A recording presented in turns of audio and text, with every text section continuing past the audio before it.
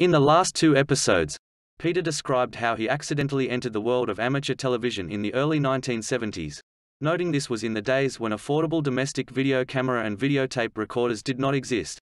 In this week's episode Peter explains his participation in CQ-TV award contacts including rare 16mm footage of the DX contacts, color 16mm film of a local radio amateur's microwave and television equipment, and describes a tour of GTV9 transmitter site.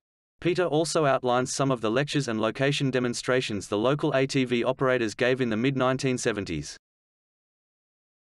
Hello, I'm Peter, and this is my story of my involvement in amateur television during the 1970s, before colour.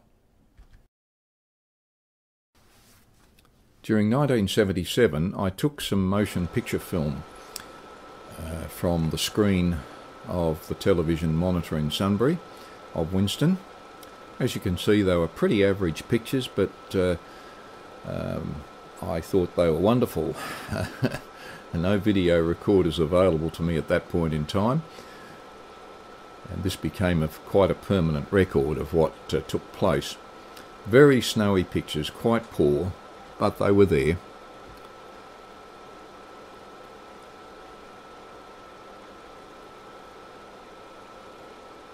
Block diagram which Winston used for a demonstration in Tasmania at some stage earlier. And you can see some caption cards of various uh, stations he had received. There's one of Greg's.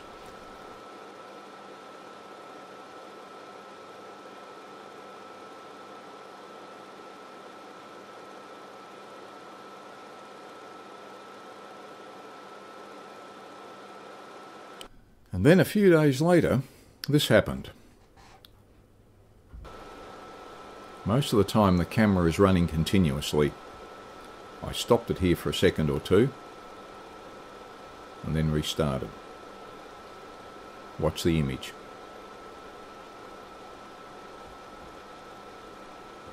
Not quite noise free, but not far from it.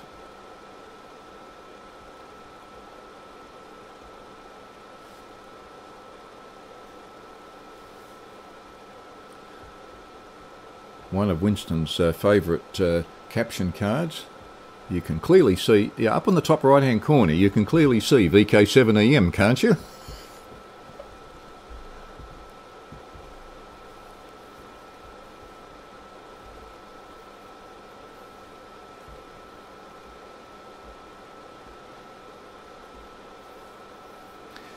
We wanted to uh, record the time and date of this transmission discovered the clock was out by uh, 10 minutes or so. And uh, Winston went in there and adjusted it as you could see. And right at the end of this film, you will see a piece of paper with the date on it. Conditions were obviously varying uh, through the evening.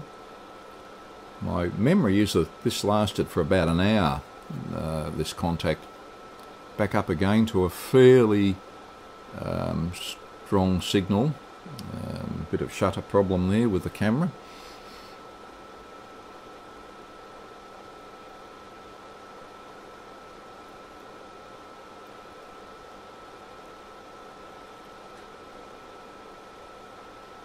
And there's the date.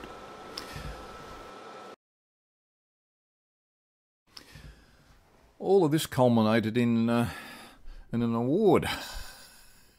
Winston applied for the new CQ TV award, which uh, was available from the British Amateur TV Club, and uh, uh, it was quite interesting that one contact um, uh, on my part gave me a bronze uh, bronze award.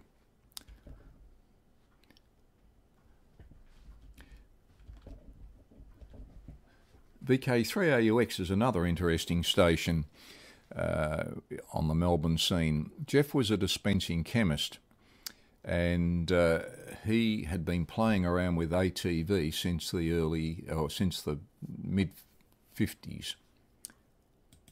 He had a location on Mount Dandenong. Uh, house was down in Caulfield, but the residence on Mount Dandenong, right up on the top. And here are a couple of pictures I snapped of his uh, camera on the left and monitor on the right.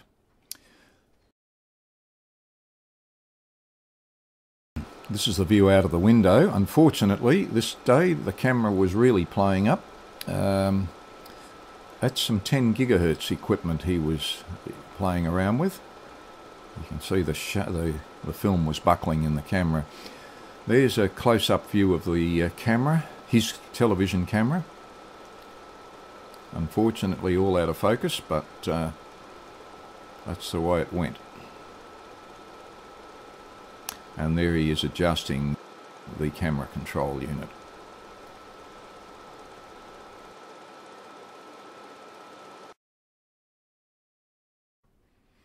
We also did a transmission to the WIA, uh, the old headquarters building in um, Victoria Parade. Uh, this was a very tortuous uh, path. In fact, the I understand that the receive antenna at 3WI was quite a few degrees off a direct bearing to Sunbury, and we understand that the signal received there, which was not really great, but it was there, um, was uh, bounced off the ICI building up the top end of the Melbourne city. And here is Greg, VK3YGB, um, explaining aspects of our system. And uh, whilst I was standing near the transmitter rack in the same room during that lecture in 1973. Some of the diagrams used for the uh, uh, the presentation, block diagrams. There were quite a few other bits and pieces shown, but this is just the, the bare bones. Also, there was involvement with the Diggers Rest and Sunbury Scout groups um, with amateur TV. Uh, here you can see my picture as received by uh, John uh, Buxton, um, 3YJB, and uh, a picture of his setup. Uh, I think this was actually at Dallas, um, so it was down near Glenroy area, I think. Uh, and there you can see my received picture, or part of it, and uh, he's just getting ready to transmit his uh, image. You can see the scout's head on the monitor down below. Various other caption cards used for particular purposes. Um, one was a, a, Geelong demonstration. Uh, you could see a number of call signs there.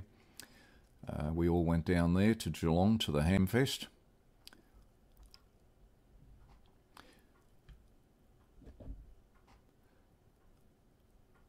And uh, I can't give you the exact date, but uh, these were the stations that were active, uh, noticeably active on air uh, at that particular time. I think we're talking possibly um, mid 1970s, I think. Yeah, be mid 1970s. And we also did a bit of work on 1200 megs with Les uh, 3ZBJ from Sunbury to Frankston. Transmitted a few movies, silent movies mainly. Uh, one was to Bob, VK3ZBB, who was uh, very much tied up with amateur satellites. He was down in Strathmore, got quite a good signal strength from me. And on the right hand side, you can see Peter's uh, more recent, or well, in those days, more recent caption card. The image up on the top left-hand corner is a frame from uh, that Bob snapped from his television set of um, part of the film that I was uh, showing at the time. And uh, here you can see on the top right hand corner uh, the some of the setup here including an old 35mm motion picture projector obviously I had an interest in uh, in movies and uh, such things at the time. Uh, you can see the camera on its stand looking down towards the floodlit um, caption card, and for some reason the TV set sitting on a on a um, uh, on a stand there, and up on the bench uh, you can just see the edge of the camera control unit. The transmitters are behind us, so that was yeah 1971. That was fairly early on. Uh, down the bottom left hand corner is an interesting story. When we visited Channel 9's transmitter at Mount Dandenong, we were sort of taken right around the whole place, and I noticed behind one of the racks of equipment was this this box with uh, fly wire all over it, bronze fly wire, and I asked the question, well, what's all that about? Because it didn't seem to be connected to anything. And uh, one of the guys got all excited and said, oh, he said, that's what we use to transmit the cricket between um, Adelaide and Melbourne on. Uh, I thought, oh, yes, I remember this. Uh, they circled, I think it was uh, somewhere around the border uh, of South Australia and Victoria. They had a DC3 going around in circles. And uh, this chappie told me that uh, he was an amateur actually. He said, Oh, we pinched a few ideas out of the ARRL handbook and built up this transmitter.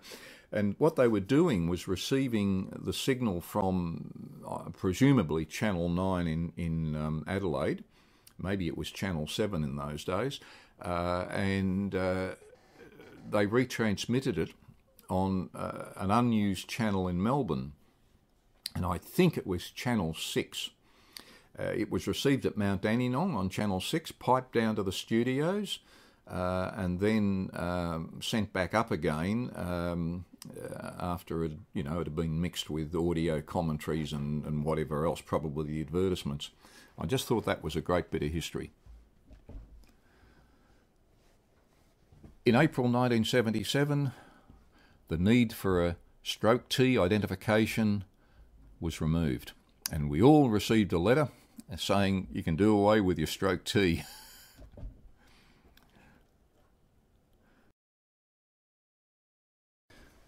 this brings us to the end of my story of amateur television during the 1970s. My journey.